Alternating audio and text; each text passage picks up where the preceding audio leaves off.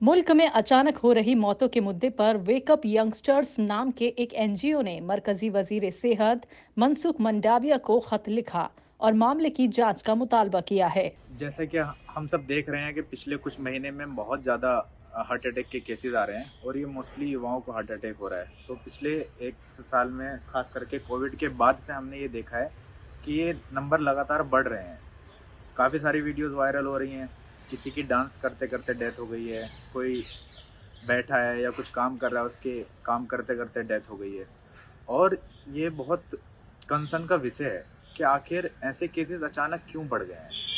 तो इसी को मद्देनज़र रखते हुए वेकअप यंगस्टर्स की टीम ने एक कंसर्न ज़ाहिर किया है और केंद्रीय हेल्थ मिनिस्टर को हमने लेटर लिख रहे हैं हम और इसके बाद हम सभी स्टेट्स के मिनिस्टर्स को भी एक लेटर लिखेंगे जिसमें हमारी सिर्फ़ यही मांग है कि इसकी इन्वेस्टिगेशन कराई जाए। आखिर क्यों यंगस्टर्स हार्ट अटैक का इतना शिकार हो रहे हैं?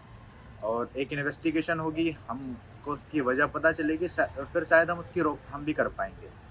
तो इसी को, को मद्देनज़र रखते हुए हमने फ़िलहाल ये लेटर लिखा है।